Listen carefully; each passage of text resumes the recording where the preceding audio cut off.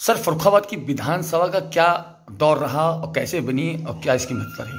फरुखाबाद ज़िले में आज़ादी के बाद उन्नीस सौ बावन में पहला चुनाव हुआ, जिसमें अवधेश चंद सिंह विधायक चुने गए। हालात ये थे कि पहले बैलगाड़ियों से चुनाव होता था। यहाँ ना जीप की सुविधा थी और न ट्रैक्टर थे। इसके बाद यहाँ बैलगाड़ियों से चुनाव हुआ, फिर दोबारा उन्नीस सौ सत्तावन में चुनाव हुआ है।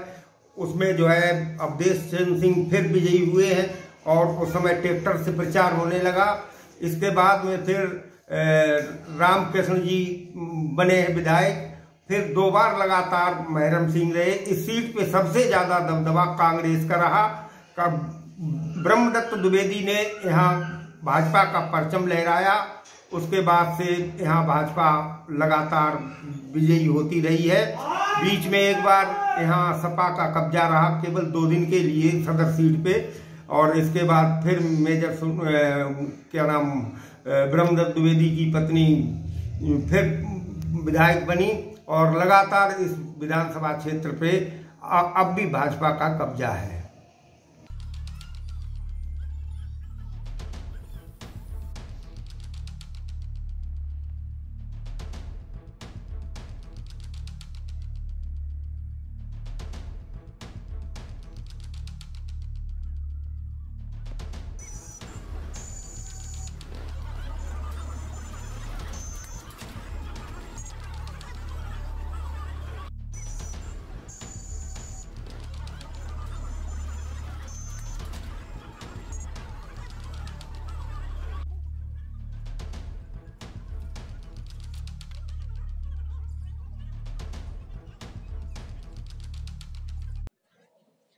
चाचा तो विधानसभा चुनाव चल रहे हैं।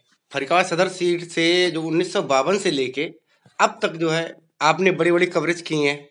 तो क्या आपको तब से अब तक अंतर आया है? देखिए, उस समय जो चुनाव थे, वो राजनीतिक दृष्टि से जो है, वो लोग परिपक्व हुआ करते थे और उनमें राजनीतिक महत्वाकांक्षाएँ रहती थी। लेकिन आज जो है वो ये ट्रेंड बदल गया चेंज हो गया है। अब लोग जो है वो राजनीति नहीं, बल्कि धर्म, संप्रदाय के आधार पर राजनीति कर दिए हैं। पहले लोग जो है, वो लोगों की ये सोच थी कि लोगों को जो है वो किस तरीके से अपने ज़िले का उत्थान किया जाए, अपने ज़िले का कैसे विकास किया जाए। अब वो विकास की जो है वो दृष्टि उनकी समाप्त हो गई है। अब केवल अपनी स्वयं की कैसे उत्थान हो कैसे उसको आगे बढ़ाया जाए इस पर ध्यान केंद्रित हो गया है। फरखाबाद में अभी तक क्या विकास हुआ है उन्नीस सौ आज़ादी बाद से? देखिए जहाँ तक फरखाबाद के चुनाव की आप बात करें तो यहाँ बड़े बड़े नेता चुनाव लड़े जैसे खुर्शीद आलम साहब सलमान खुर्शीद साहब, इन लोगों ने चुनाव लड़ा, लेकिन फरुखाबाद के लिए उन्होंने कोई किसी तरह का कोई विकास कार्य नहीं किए। केवल खुर्शीद आलम खान साहब जो है, उनके समय में जो है, ये था कि उन्होंने कायमगंज में एक स्पिनिंग मिल का लगवाया और वहाँ पर शुगर मिल की स्थापना कराई। लेकिन इसके अलावा किसी भी राजनीतिक दल के किसी भी नेता ने फरुखाबाद के विकास के लिए कोई तवज्जो नहीं दी। अछूता रहा अभी तक फरुखाबाद बिल्कुल अछूता विकास को से दूर है? कोसों दूर रहा।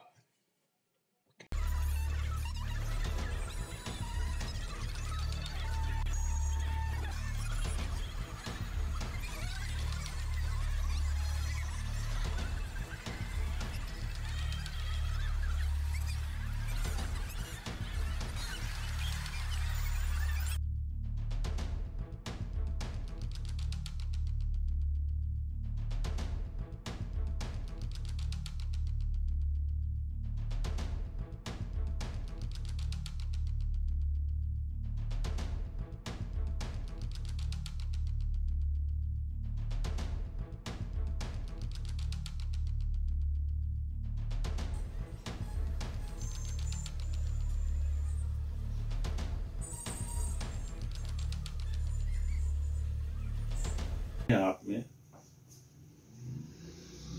बहुत चौंकाने वाला है। यहाँ से सबसे पहले जहाँ तक मुझे याद पड़ता है चूक भी हो सकती है। यहाँ से सबसे पहले विधायक बने अवधेश चंद सिंह, पूर्व सांसद चंद्रभूषण सिंह उन्नोवाबू के पिताश्री दूसरे विधायक बने रामकृष्ण सारस्वत। और तीसरे विधायक बने दयाराम जी साख्य ठीक है? इसके बाद सिलसिला चलता रहा। मालूम है आपको इतने आप नए भी नहीं हैं, पुराने नहीं हैं इतने नए भी नहीं हैं। एक दौर ऐसा चला कि फरुखाबाद में पंडित विमल प्रसाद तिवारी और ब्रह्मदत्त द्विवेदी का संघर्ष चलता रहा। एक चुनाव वो जीतते थे, एक चुनाव ब्रह्मदत्त जी जीतते थे और इस तरीके से ये चलता रहा। बाद में एक ऐसा दौर आया कि लगातार चार बार ब्रह्मदत्त द्विवेदी चुनाव जीतते रहे, जब तक उनकी मृत्यु नहीं हो गई। उनकी मृत्यु के बाद उनके स्थान पर उनकी पत्नी प्रभा द्विवेदी विधायक हुई और मंत्री हुई। इस चुनाव में एक बहुत महत्वपूर्ण बात मैं कहना चाहूँगा, क्योंकि मैं उससे व्यक्तिगत रूप से जुड़ा हुआ हूँ। इस चुनाव में समाजवादी पार्टी के कैंडिडेट थे स्वर्गीय श्री लाल बहादुर साक्य लाल बहादुर साक्य के विषय में ये कहा जाता है कि वे ब्राह्मण द्रोही थे। आपको आश्चर्य होगा कि लाल बहादुर साक्य के इलेक्शन एजेंट पंडित सतीश प्रकाश दीक्षित थे।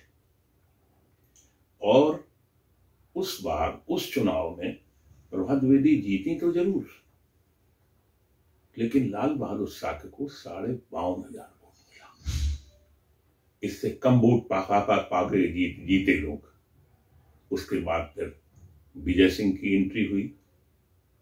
पहले विजय सिंह निर्दलीय विधायक हुए। विजय सिंह जिस समय दोबारा चुनाव का मौका आया तो मैं उस समय समाजवादी पार्टी का जिलाध्यक्ष था। और विजय सिंह निर्दलीय विधायक होते हुए भी सपा का समर्थन करते थे। तो मैंने जो अपनी रिपोर्ट भेजी